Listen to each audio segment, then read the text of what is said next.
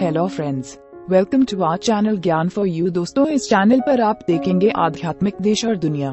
वास्तुशास्त्र और घरेलू चिकित्सा के कुछ गुणकारी उपाय। इस चमत्कारी मंदिर में पानी से जलता है दीपक। रहस्य जानकर चौक जाओगे। दुनिया में आपने कई मंदिरों के बारे में सुना होगा और उनका देखा होगा। अक्सर लोग भगवान के यहाँ दीपक जलाते हैं। इस बात का सबको पता है, दीपक किसी तेल या घी से जलाया जाता है। यदि मैं आपसे कहूँ कि ये कैसे मंदिर जहाँ आप पानी से भी दीपक जला सकते हैं तो आपको यकीन नहीं होगा, लेकिन ये सच है, एक मंदिर में ऐसा मामला सामने आया है जहाँ पाँच साल से पानी से दीपक जल रहा है।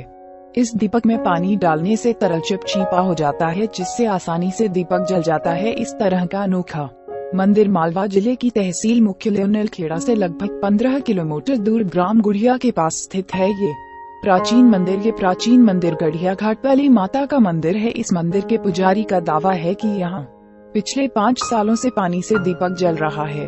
आपको बता दें कि इस मंदिर के पुजारी सिद्धू सिंह सोधिया बचपन से ही इस मंदिर की पूजा करते रहे हैं। इस मंदिर के पुजारी का कहना है कि मैं इस मंदिर में बचपन से ही तेल का दिया जलाता था, लेकिन एक दिन देवी माँ ने मुझे सपने में कहा कि कब तक तेल से ज्योति जलाएगा। जा आज मंदिर में पानी से दीपक जलाना हमेशा पानी से ही जलता रहेगा। मंदिर के पुजारी ने सुबह उठकर ऐसा ही किया। व उन्होंने पानी से दीपक जलाया। उसके बाद पंडित ने देखा कि चमत्कार हो गया। पानी दे दीपक जलने लगा। इस घटना से पुजारी खुद छबरा गया। दो महीने तक पुजारी ने किसी को भी इस बारे में नहीं बताया। लेकिन बाद में जब मंदिर के पुजारी ने इस चमत्कार के बारे में गाँव के कुछ लोगों को बताया है, लेकिन उन्हें भी यकीन नहीं हुआ। उसके बाद गाँव के कुछ लोगों ने जाकर दीपक में पानी डाला।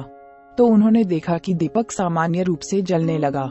हम उम्मीद करते हैं कि आपको इस चैनल के माध्यम से रोचक जानकारियाँ दे सके।